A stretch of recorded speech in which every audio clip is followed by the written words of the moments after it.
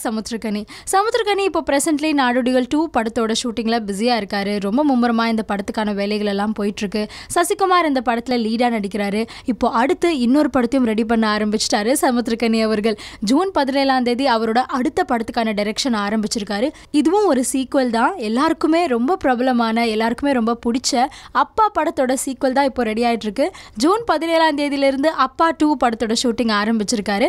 அப்பாவில் நடித்த எல்லாருமே இந்த சீக்குவலையும் அப்படியே ரீட்டைன் ஆகுறாங்க அப்படிங்கிற இன்ஃபர்மேஷனும் கொடுத்திருக்காரு. ஸோ எங்க சார்பா அப்பா டூ படமும் வெற்றி பெற வாழ்த்துக்கள்.